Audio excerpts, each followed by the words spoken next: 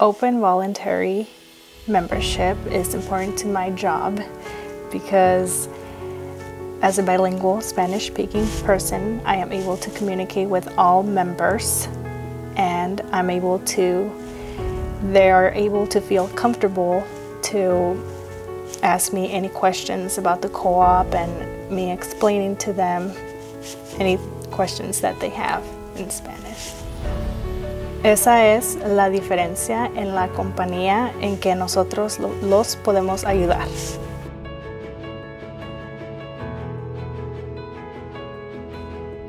Hi, I'm Trent Will, your District 1 Director for Iowa Lakes Electric Cooperative in Estherville, Iowa. The second cooperative principle, democratic member control, was established for the members by the members one member, one vote. This was designed so that your membership would have a control of the future direction of their co-op and, and can control who represents them at the cooperative level.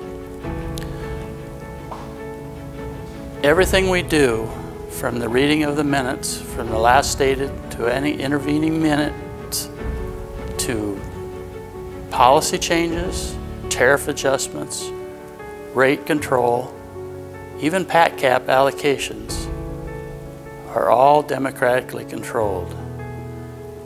I was elected through a nominating committee from the member owners and was subsequently elected by the members for Iowa Lakes Electric. I'm extremely proud and honored to have been nominated to represent the member owners of Iowa Lakes Electric on the NIPCO board. And I hope that I have a little bit of positive influence in the direction of which our cooperative is going.